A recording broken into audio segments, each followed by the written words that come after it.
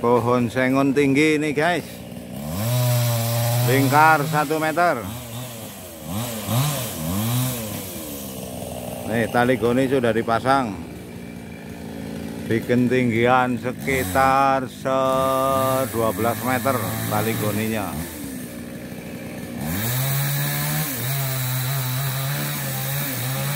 Oke. Ah itu terlihat tali goninya